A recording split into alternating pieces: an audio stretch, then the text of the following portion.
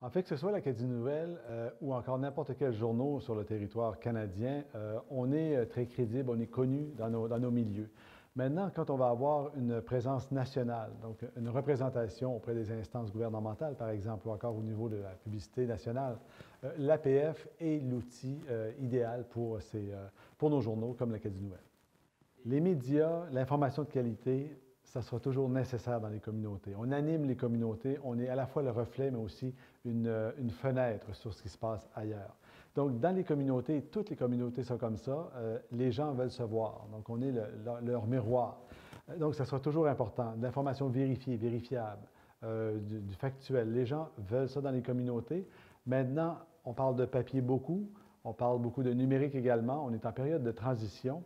Et euh, je ne suis pas devin, je n'ai pas de boule de cristal, mais je peux simplement vous dire qu'on s'en va davantage vers une présence numérique, ça c'est clair. À savoir, le papier va vivre combien, comment longtemps, c'est difficile à dire. Mais actuellement, les journaux sont très importants.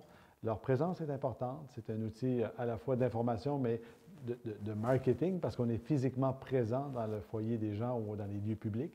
Euh, mais il y a aussi donc cette tendance au numérique qui rejoint une clientèle différente, parfois plus jeune, mais c'est pour ça qu'il faut voir à la fois les deux. Et c'est ça le, défi, faire du contenu de qualité avec des moyens réduits et à la fois nourrir deux plateformes, et trois peut-être.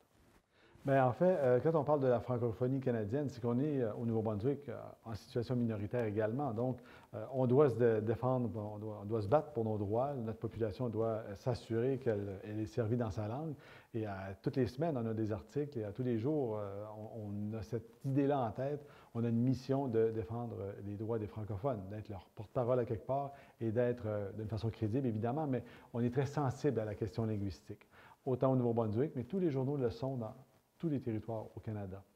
Donc, oui, on regarde ce qui se passe chez nous, mais on, regarde également ce qui se passe ailleurs, dans d'autres provinces, des jugements de la Cour fédérale, par exemple, ou Cour suprême, ou des décisions d'Ottawa. C'est très important parce que ça influe euh, directement, il y a une influence sur notre population euh, qui doit se battre. Dans certaines régions, c'est pire que d'autres, c'est sûr.